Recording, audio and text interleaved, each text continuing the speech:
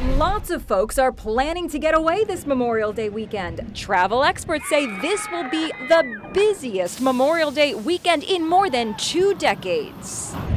42 million Americans are expected to travel.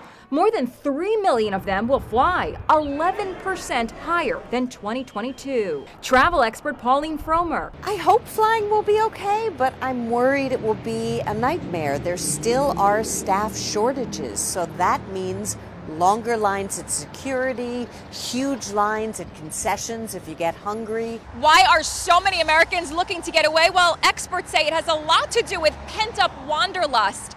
This will be the first holiday since the official end of the pandemic was declared. There may not be enough places for people to park at many airports, so consider getting an Uber or taxi instead of driving yourself. Travel industry executive Gabriela Ribeiro has packing down to a science. I hear you always pack a carry on. You never check a bag. Never check a bag because once you lose your bag, you'll never go through that again. You'll be surprised how much stuff you can fit into a carry on if you know what you're doing.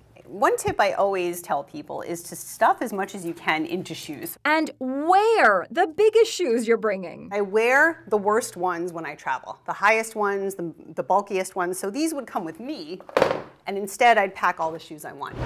Of course, most people will drive. AAA's Robert Sinclair says timing is everything. If you can leave before noon or 1 p.m. on Thursday and Friday, do it. As for the return trip home, either start out early or leave late.